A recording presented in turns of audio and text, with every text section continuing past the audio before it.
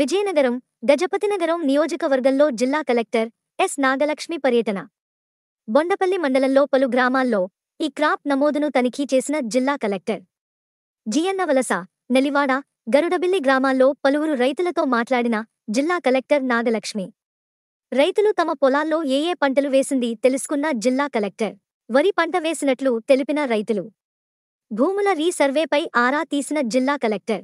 గజపతినగరం మండల పరిషత్ కార్యాలయంలో జగనన్నకు చెబుదాం కార్యక్రమంలో పాల్గొని ప్రజల నుంచి వినతులు స్వీకరించిన జిల్లా collector S Nagalakshmi joint collector Mayur Ashok RDO Seshasailaja Zilla Parishad CEO Raj Kumar తదితరులు పాల్గొన్నారు.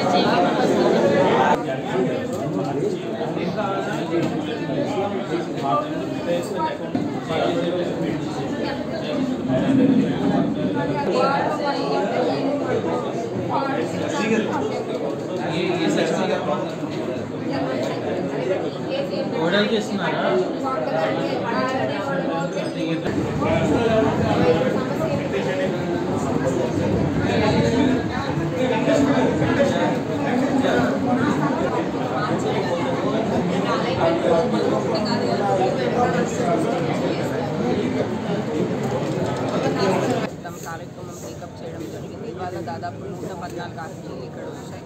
ఇక్కడ మోస్ట్లీ మనకి రెవెన్యూ ఇవన్నీ సింపుల్ ఇష్యూస్ కాక కాకుండా ముఖ్యంగా పెన్షన్లో ఏజ్ అంటే ఆధార్లో ఏజ్ తక్కువ ఉంది కానీ నిజంగానే ఏజ్ ఎక్కువ ఉందనే కేటగిరీలో పెన్షన్స్ మనకి ఎక్కువ రావడం జరిగింది.